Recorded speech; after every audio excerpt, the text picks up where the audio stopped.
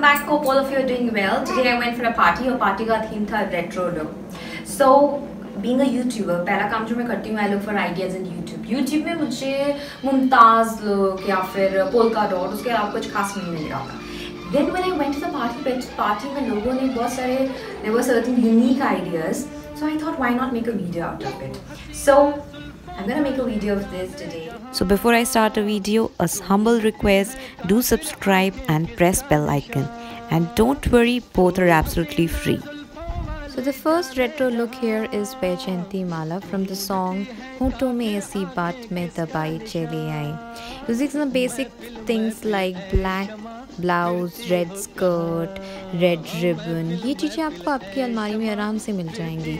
Using these basic things, this lady is definitely justifying Vaijyanti Mala's look from this song. Another easy way of looking retro using some basic wardrobe staples is by wearing bright red sari, making high puff hairstyle, add some glitter, wearing sparkling hairband and definitely you justify that retro look.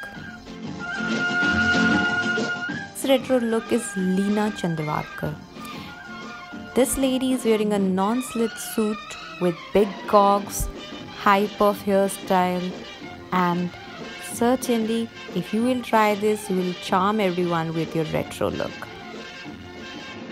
Next retro look is Zeenat Aman look. For this one you will have to try a little harder because you will have to get a dress stitch for yourself with big collars.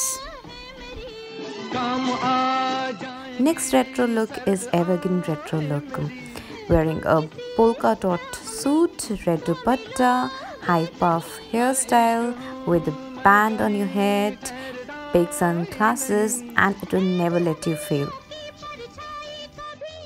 Now the next very famous retro look is Mumtaz look.